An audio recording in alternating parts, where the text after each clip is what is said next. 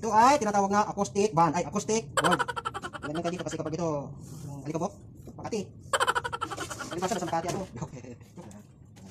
Lagay natin. Yun.